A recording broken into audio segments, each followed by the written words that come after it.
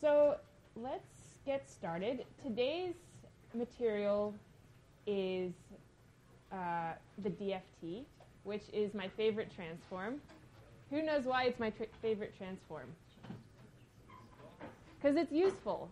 Um, so you can do stuff on computers with representations of signals because it's finite in both time and frequency. And we'll see some cool repercussions of that. Um, but before I get going, uh, just a reminder your homework is due tonight before midnight. Uh, please submit that on BSpace. Not BSpace, bCourses. All right, so when we have discrete signals, that is to say, we sample a continuous signal, sometimes weird things happen. So, who can tell me what's going on in this picture? Aliasing, right? So, because we lost information about the picture, we have these crazy waves that are showing up on the on the image itself. And I, yeah, some of you may have seen this when you compress a JPEG too far. You you often get this. So you're throwing away too much information. And um, so there's a really cool example of aliasing called the rolling shutter effect.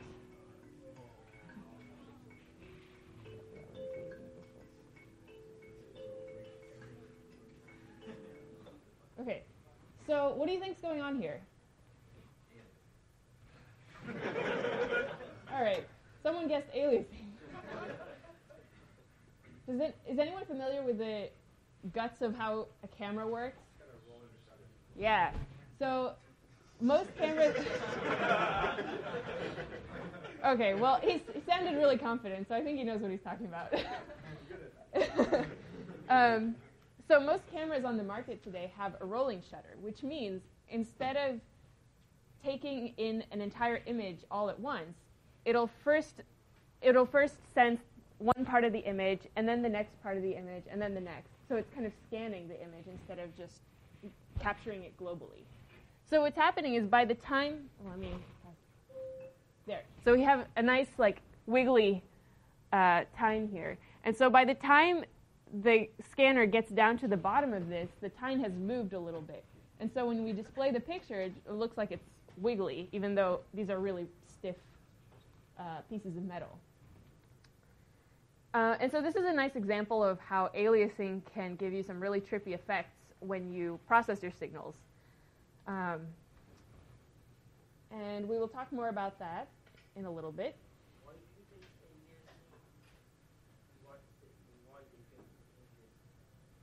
Oh, it's aliasing because you're not capturing the entire um, you're not capturing the entire spectrum at a single instant in time. So because of your sampled representation, um, you're getting weird effects that are not representative of what the sample or what the signal actually looks like. Okay. So, right. So we mentioned this a little bit earlier, but if you want to do any kind of Fourier analysis, any kind of uh, frequency domain analysis on a computer or in any kind of hardware, um, you have to have a discrete representation, right? We can't represent anything continuous on discrete hardware. Or, okay.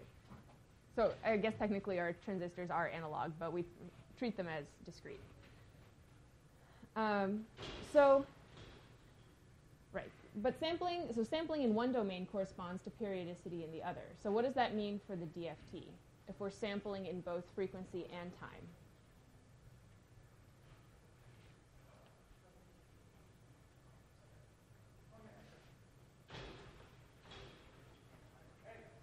What's that? Yeah, so it, it, implies that you have some periodicity in both domains. And we'll, we'll talk a little bit later about how, um, how we deal with that in practice by convention. So what, what about the discrete Fourier series? Who remembers the DFS? Nobody. That's good. Uh, seriously, though, have you guys encountered the Fourier series? Okay, you just don't remember it. Okay, great. Um, so we'll talk about the discrete Fourier series today and how it relates to the DFT. Um, okay, and what if, what if the input signal, what if the signal that I'm trying to capture or represent on my computer is not periodic? We cut it, right? So this is one of the many approximations that we make as engineers. We say, okay, this signal, I'm going to take just a finite chunk of it, pretend that it's periodic, and then use the tools that I've developed for periodic signals. So we often treat our signals as being finite, even if maybe they're not, or treat them as periodic, even if maybe they're not. So just to give you a little chart um, to understand what, uh, what transform to use when, let's, uh, let's fill this in together. So this is, this is for a time domain signal. If I have a time domain signal that is periodic and discrete, what transform do you think is best suited for that? DFS, right? How about aperiodic and discrete? DTFT. We talked about this on Monday. Um, okay, how about periodic and continuous? CFS, right? So you can you can use the CTFT, but it reduces to the CFS. The CFS is a simpler representation. Um, aperiodic and continuous? CTFT. Okay, where does the DFT fit into this? Yes, but also we sometimes we use the D, DFT sometimes on aperiodic signals, and we just truncate it and say, okay, we're going to use these endpoints and compute a DFT on that. So it's kind of a, a funny question. Um, so the DTFT can use, be used over input signals of either type, but in our mental approximation, we just treat it as a finite signal. So yeah, the rest, the rest of these boxes are treated as infinite. Okay, so the nice thing, one of the many nice things about the DFT, and the reason it's become so widespread in basically all of the electronics that you have today, all of your phones have implementations of the FFT, is that we have efficient implementations of these algorithms. So um, for instance, if you were to directly evaluate the DFT, uh, the, or compute the DFT of a signal, it would be O of n squared, where n is the number of points that you're considering in your DFT. Right? Um, but the fast Fourier transform, the FFT, uh, allows us to do this in O of n log n complexity. So have you guys learned about how the FFT works? Yeah, okay, great. Um, I, am not sure if they'll talk about it more later in the semester, but it's pretty cool. Um, oh yeah, I guess I guess this green note would indicate that we will talk about it. Um, okay, and there are efficient libraries that may come useful to you in your labs and homeworks. Um, so you can just refer to the, the slides later if you need to compute FFTs in Python. Uh, and similarly, convolution can be done really efficiently. So instead of computing the convolution directly by using flip and drag, right, we can do this in the frequency domain using the FFT. So again, we get O of n log n. So these are kind of nice, very low-level practical reasons for why the DFT is so widespread. So, okay, so moving forward, um, I'm going to use x tilde to represent a periodic signal and x to represent a, an aperiodic signal, or yeah, just the regular signal. So, um, all right, so we're, we're, and we're going to assume that x tilde is periodic with period big N. So we have usual condition, x tilde of n plus big N is just x tilde of n. And similarly, what this means in the frequency domain is that it is also periodic with the same period. Right? Um, by the way, I, if any of this is not clear or if you don't remember this from learning about the DFT previously, please let me know. Um, but yeah, it's clear that an n-point signal maps to an n-point DFT, right? Okay. All right, so how do we compute the discrete Fourier series? We're, we're going to start with that and then show how it's different from the DFT. So to find the discrete Fourier series, we start with a kernel. Our kernel is W sub n, and it's just a complex number that's kind of the, the basic number that we use to construct our transformation.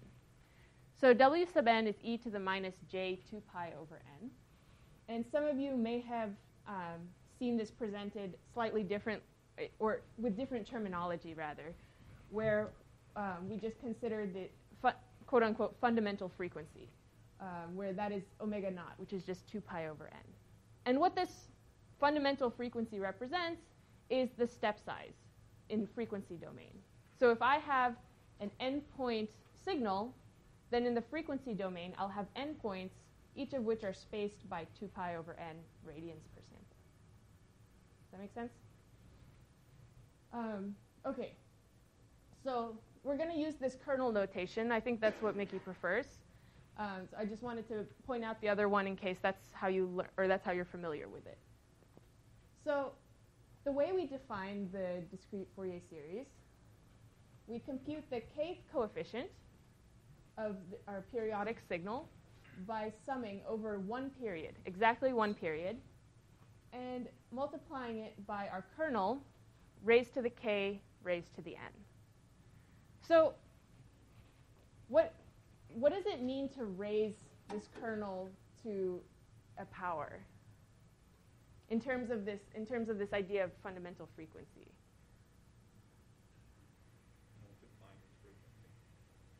Yeah, so you're, you're adding, you're scaling your frequency. So if our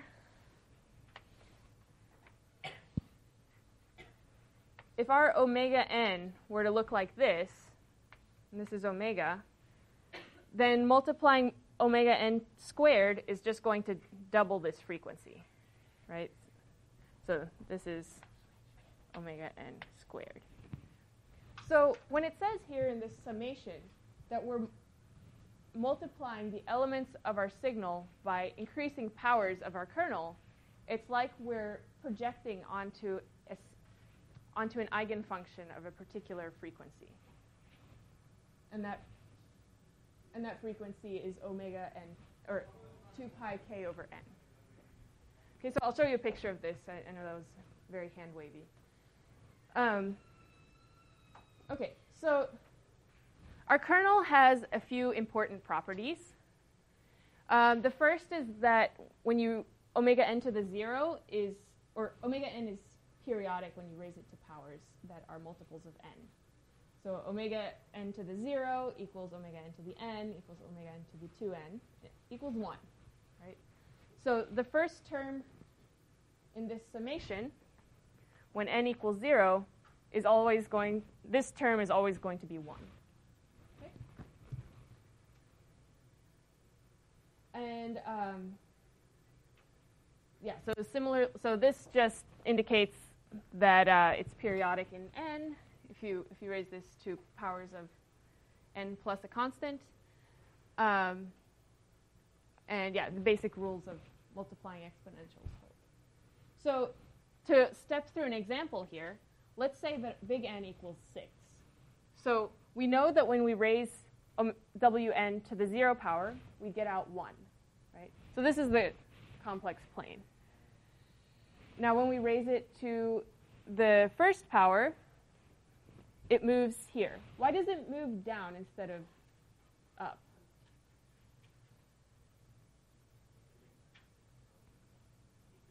Can you say that louder?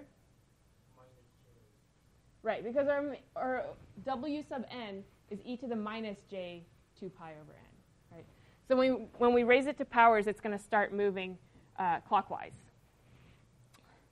So yeah, we raise it to different powers, and then once we reach a multiple of, of 6, then we're back to 1 again. Okay, so that was like that was like this term when k equals 1. Right? Now let's evaluate this term when k equals 2. So again, we start at 1 here. Does that make sense? Right. Okay. So then when we raise omega n squared to the 1 power, we get double the frequency counterclockwise. And then we, uh, we raise that to the second power, we move that same frequency again. And so we're moving again clockwise, but this time we're moving faster. Okay, So what happens when k equals 2?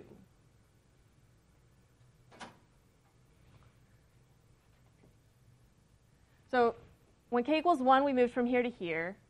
When k equals 2, we moved from here to here. What happens when k... Oh, sorry. What happens when k equals 3? Right, plus 1, minus 1, plus 1, minus 1. So if we increase k even more, is the frequency going to go up or down?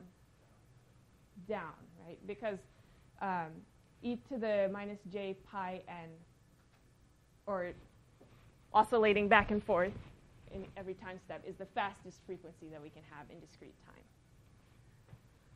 Okay, and then, of course, the, the inverse formula looks a lot like the inverse dTFT, inverse D transform. Just we normalize by n now. And we these terms, these wn to the kn, are complex conjugated. All right.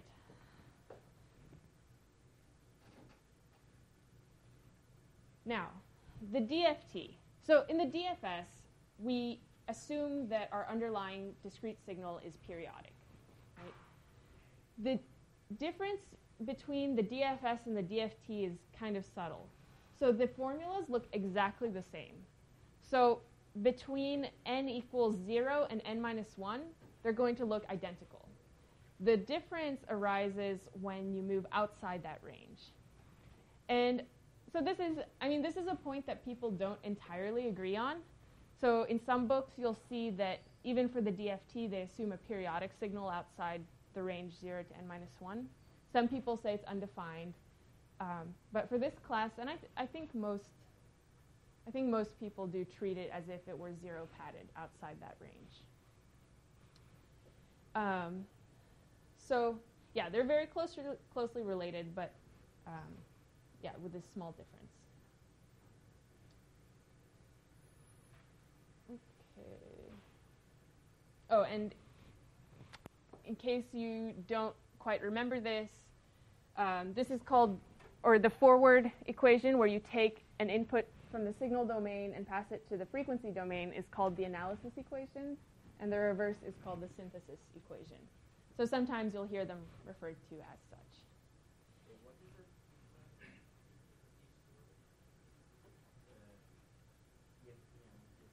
DFS? Oh, okay. So the they are okay. They are the same in the sense that to compute the DFT or the DFS, you look at, a, at the input signal from 0 to n minus 1, and you compute these equations exactly like we discussed here, or as, as is written here.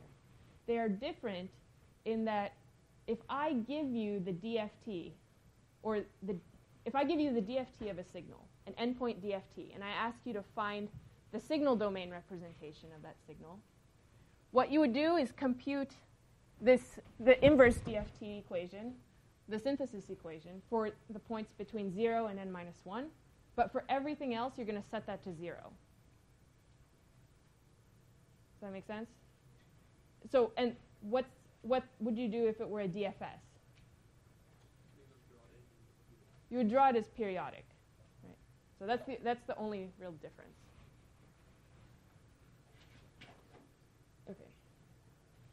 Um, there's also an alternative formulation in the book, not in the book, um, and that has you scale each equation by 1 over square root of n instead of putting just 1 over n on the inverse DFT. Why do you think that's useful? All right, he says so you don't have to remember which one has 1 over n. Uh, okay, I'll take it. Any, anyone else?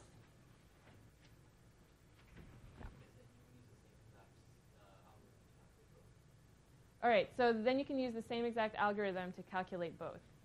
Um, almost, right? So the inverse, D, uh, inverse DFT still has the complex conjugate uh, uh, multiplication or projection, but you're very close. So, and we'll actually see later how you can use um, the DFT to compute the inverse DFT.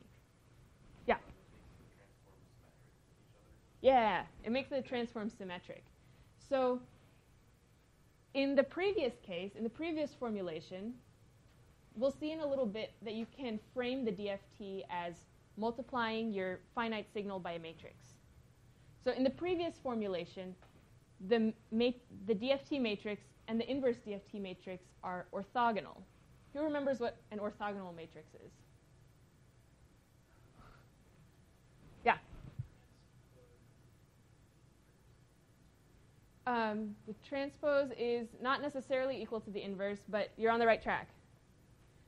So in an orthogonal matrix, if you take the inner product of any two columns that are different, they're going to be, that's going to give you zero. And what this gives you is that your matrix is still orthogonal, but additionally it's orthonormal. So what do you think that means? Yeah, right. Okay. So in so in addition to um, having the product, the inner product of any two non-equal uh, columns or rows being um, being zero, if you take the inner product of any column with itself, it's one. So basically, if you take your matrix transpose times your actual matrix, you get out the identity. And so this has some nice properties in terms of having the same energy, like conserving energy, having the same norm in both domains.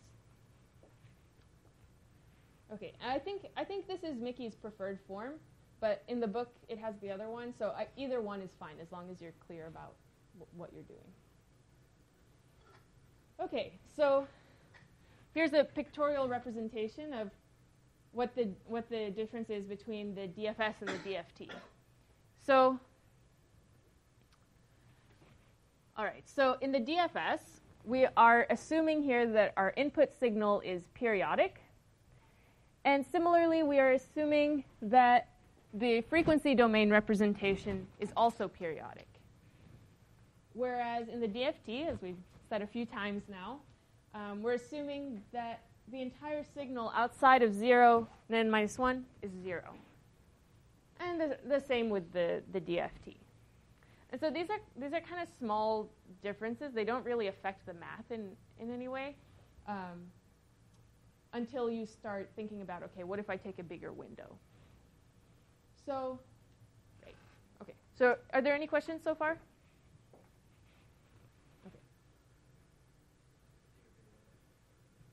We'll get to that. So glad you asked. um, okay, so let's let's work out an example. So I want to find the DFT of this signal. I'm going to take a five-point DFT. Right? So I'm going to write out the equation that we saw earlier. And because the signal is 1 from 0 to 4, that we just get this kernel to the nk. So it claims here that this result is 5 delta k. Is that obvious? Okay, it's obvious to one of you. How many of you think it's non-obvious?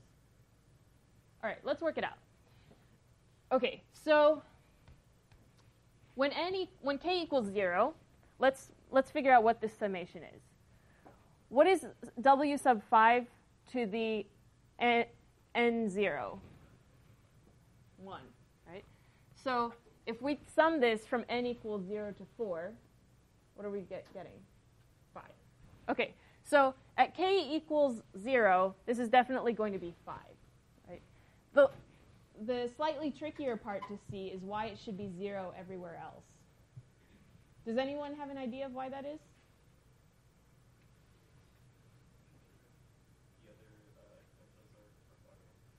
The other exponentials are orthogonal.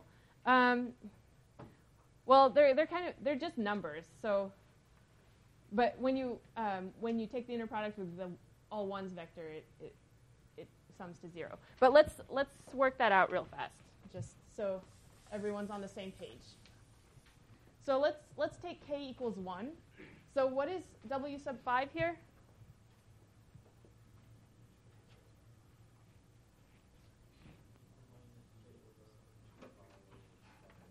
E to the minus j times 2 pi over 5, right? Okay, and we're summing this um, to these powers from 0 to 4. right? So we get a summation that looks like 1 plus e to the minus j 2 pi over 5 plus e to the minus j 2 pi times what? I heard 2 and 4. Well, okay, we know this is over 5. What's the constant? We're summing from 0 to 4, right? Oh, yeah, sorry. So there, there are dots in between here. This is the, sorry. This is the biggest term in our summation. So we have this sum of complex exponentials. We've seen this a bunch of times. What should, you, what should this trigger in your head? Geometric sum. And so we can use our usual geometric sum formula, which is 1 minus what? Minus j 2 pi over 5 times what?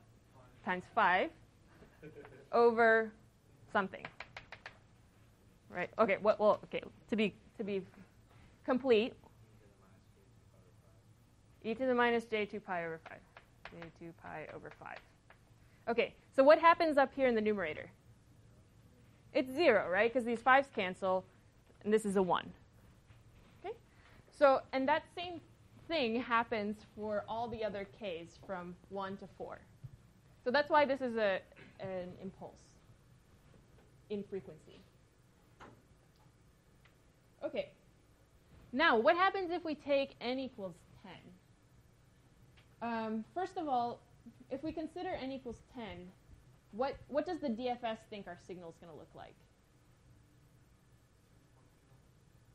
10 point periodic. So, um, yeah, so we have basically these 10 points. One, two, three. Yeah, these 10 points get repeated forever. Whereas if we take the DFT,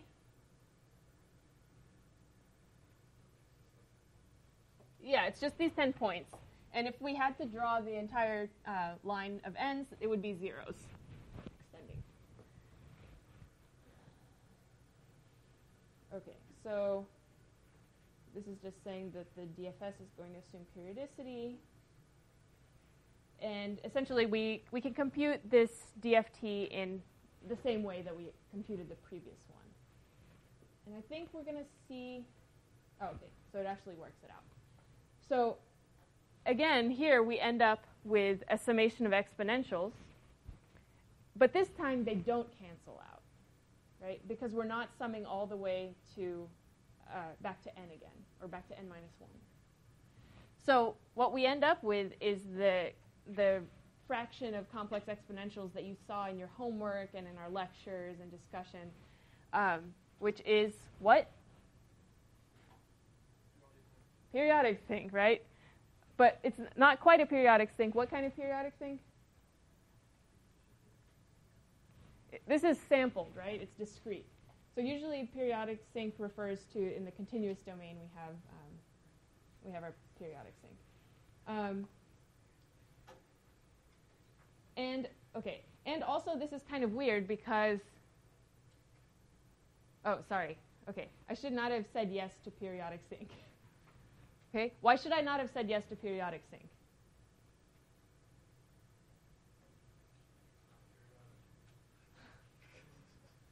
right? Because in the DFT, we assume that everything outside our n-point range is zero. So uh, we're not going to treat this as a periodic sing- signal. So it's one sampled period of a periodic sinc. All right. Um, all right. Now let's let's try computing the the DTFT. The DTFT, we remember the same old equation that we saw on Monday. So what, what are the similarities between these two uh, summations? What corresponds to what, do you think?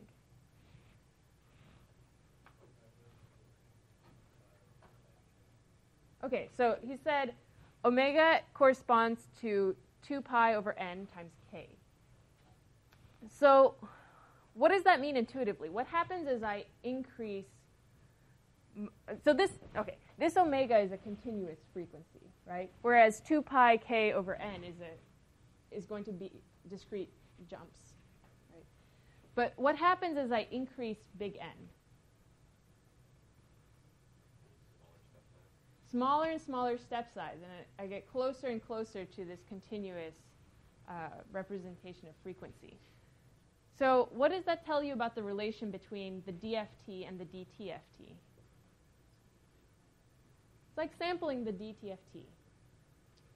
Right? So we can we can think of this um, as yeah, as sampling the DTFT at points 2 pi over n times k. Okay. All right, so let's knowing this, let's revisit our moving average example. Um, so here we, we already computed uh, the, the DTFT of this moving average before, and we found that it was what kind of signal? I heard sampled, which is not right. this is a periodic thing, yeah. Right. Um, and we'll, we'll try to make this like usually it'll be clear for you. Like if you see an omega, it's usually continuous. If you see um, if you see k, it's usually discrete. but be careful about that. So in this plot, you can see the magnitude of. Okay, so the black line is the magnitude of the DTFT of this signal. And note that now it's from 0 to 2 pi instead of negative pi to pi, which is what we saw the other day. And the green point, the green dots are our five point DFT. So this was five at zero and zero everywhere else. But as soon as we expanded to a 10 point DFT, now we get these internal points as well. Right? And so the larger we make n, the more densely our points are going to be sampling the DTFT. So um, just to be clear, it's not like you get more information by um, by collecting a larger N DFT because in either case you're you're saying you're assuming that five points are enough to represent your signal. And if that's your assumption, then this is the most information you can expect to get. It is an orthonormal transformation of your signal domain signal. Um, but if your goal is to try to represent the DTFT of your signal, then using larger n can help you get a finer representation. Okay, so, right. Uh, yeah, one small practical note. So usually when we plot the DTFT, it's usually from minus pi to pi. And just by the definition, um, usually the DFT is going to give you from 0 to 2 pi. So be careful with that. You can use FFT shift function to switch one switch between the two. Um, yeah. and so that's why usually when you take the DFT of like a voice signal or some kind of real signal, you'll usually have a bunch of energy and then it tapers down and then it spikes up again at, at 2 pi because most signals are low, low frequency. Okay, so Miki calls this a game. Um, we're going to. all right. So we're going to figure out how to compare actually, I'm not going to tell you what the goal is. Your, your job is to figure out what the goal is here. So when you multiply n by the complex conjugate of your signal, we can write out n times the usual DFT formula. Oh, inverse, inverse DFT formula. And take the complex conjugate of that. And so by the rules of complex conjugation, we know that uh, we just move the complex conjugate in and take the complex conjugate here and here, right? But what is this? This summation is just the DFT of the complex conjugate of the DFT of little x, little x. Right? So we're taking two DFTs there.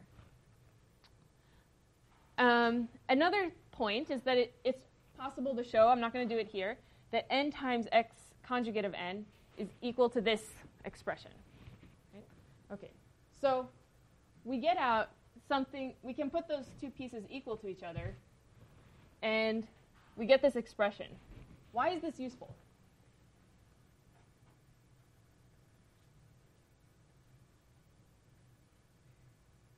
Yeah.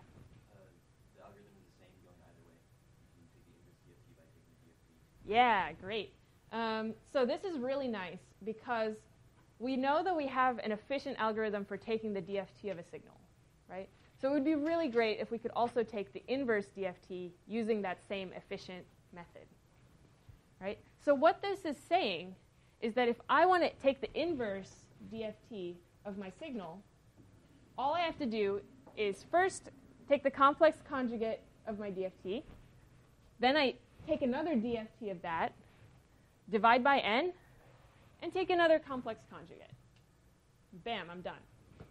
Right? So this is nice because we can use our FFT algorithm out of the box to compute inverse DFTs.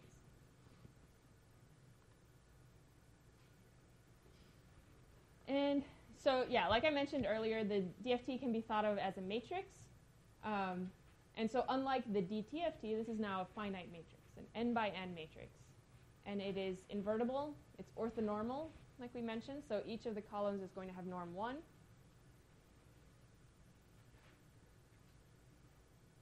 And so we can compactly write the act of taking a DFT as multiplying our signal by the DFT matrix.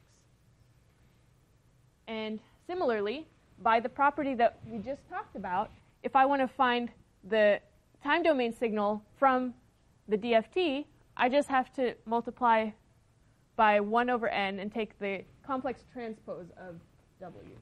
Um, so that's not quite captured there. This, that should be a Hermitian. Um, but you're taking the complex conjugate and transposing the matrix. So, right. So here, if we write out x equals 1 over n times wn uh, star times the DFT of x, we can expand this using the above equation. And what is this equal to? Identity, right? Because it's an orthonormal matrix. So taking the complex transpose, complex conjugate transpose, uh, gives you that. Um, oh, right, yeah. There's also a factor of n in there because you're um, uh, because of the, the normalization issue. Okay, so the properties are pretty similar to the DFT, uh, DF, DFS, and similar to all the other properties that we've seen all week. Um, they're getting, yeah, so we have linearity, uh, we have time invariance, but time invariance is slightly different, or, uh, yeah, slightly different here. Um, because now we have to do circular time shifts instead of regular time shifts. So what does that mean? It means that if I take my signal and I want to shift it by 2, I'm going to move all my points over by 2, but these top two have to wrap around. Right? Um, and so here's an illustration of what a cir- circular shift looks like. Um, so in, in the DFS domain, in our periodic signal, if we were to shift it, we just move it over by m, just as you would expect. But in this case, if we want to shift by m, then we have to move the triangle so that it starts at m, and then move the remains back to the origin.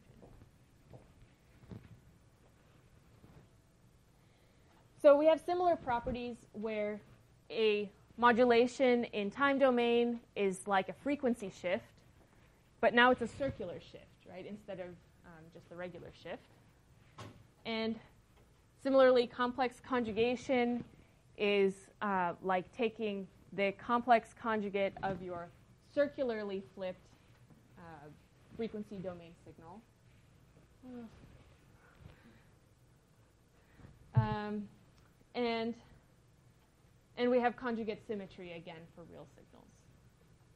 Is that clear to everyone? Okay, so let's, let's see an example of conjugate symmetry for real symbols. I'll do a four-point example for you. Are you are you able to see over here? Okay. Just want to make sure I'm not blocking anyone. Um, okay. So symmetry in the DFT is kind of funny because uh, we're we're treating our our signal as being, you know, just four points long, and it's only defined from zero to four right? So 0, 1, 2, 3, from 0 to 3. Um, so if I want to have the property of conjugate symmetry, I, want, I need a symmetric signal in the signal domain. What should be symmetric with what? So I have my little x of little x of n. What should x of 0 be symmetric with? I hear 4. 0. 0. I hear 3. All right. Why do you think it's why do you think it should be symmetric with 0? It, sorry, were you the one that said that? Okay, so you said it, but you're not sure why. I didn't say it. Oh, you didn't say it. Who said 0? Oh, Oh, okay, sorry. Uh, why do you think it should be symmetric with 0? Um, because zero equals zero four. Yeah. So we can Zero think zero. 0 does equal minus 0. Um, so if we think about this in the frequency domain, we know that our DFT is again going to have four points. What is this frequency going to be?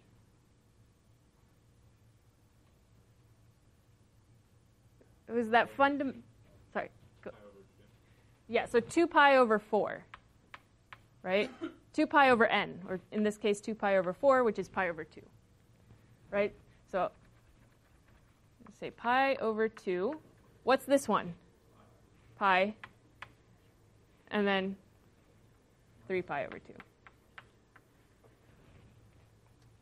Okay, so we know that we can think of this, if, if this were a DFS, this would be periodic with period 2 pi, right, but sampled.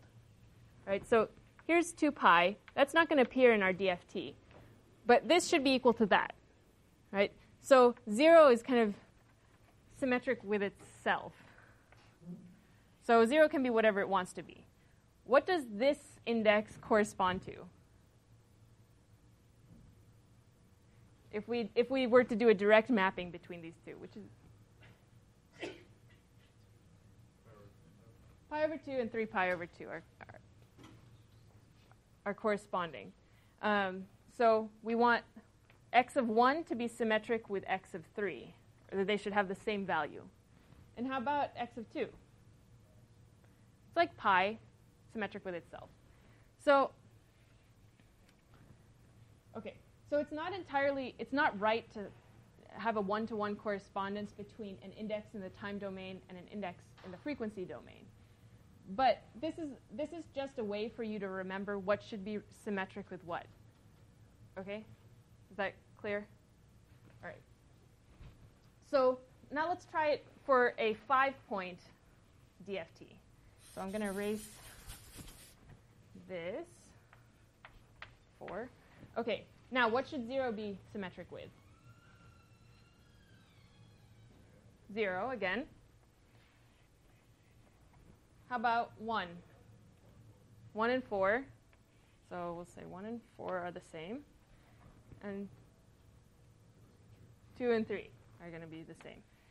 So if this type of symmetry holds, um, so yeah, another way of thinking about it is if you wrap it. So if you wrap it, it's symmetric about zero.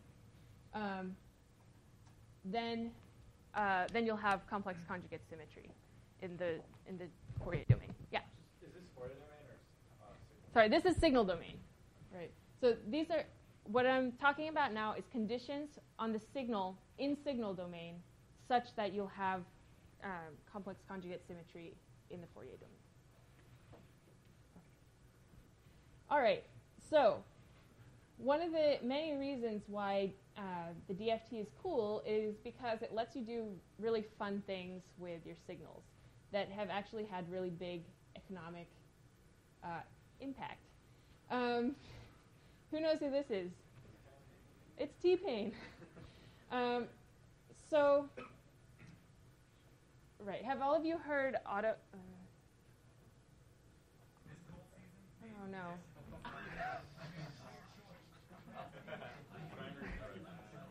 All right, this was a poor choice. Um, Okay, so knows I can't sing. Right there. That box is my voice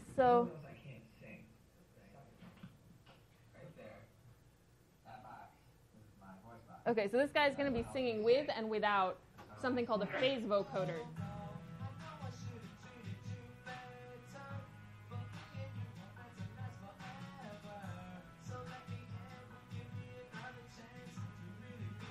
Okay, so this was objectively horrible. and what you can do is actually take the DFT, a time representation of the DFT called a spectrogram, and change the frequency information so that you're actually hitting different notes than you were hitting originally.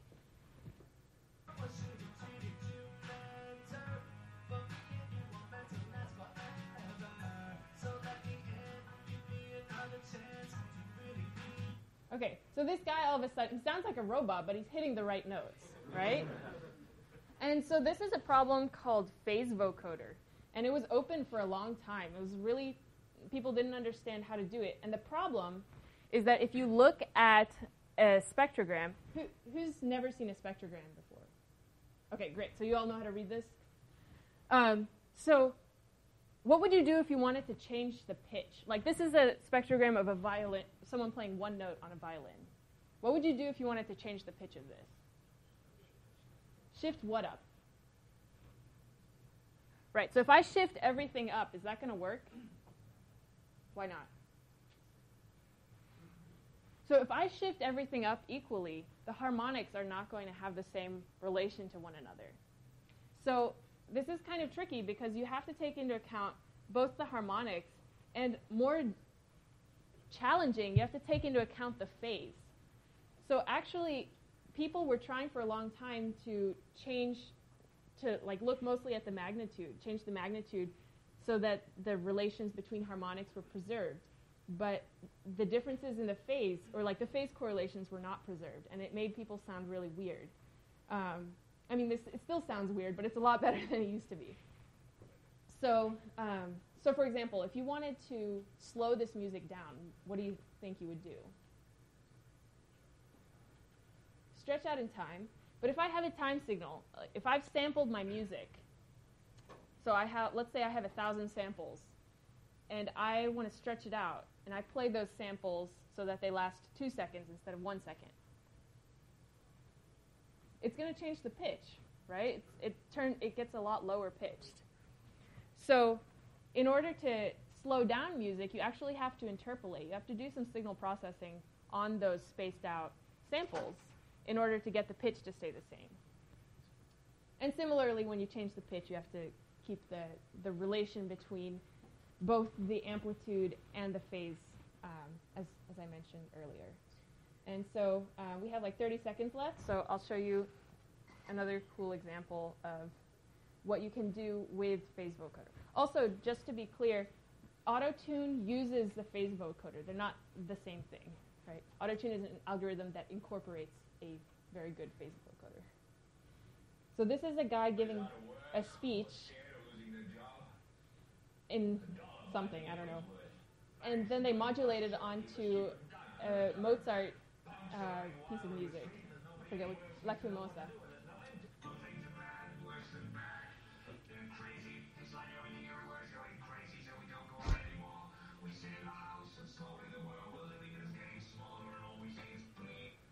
Pretty cool, right?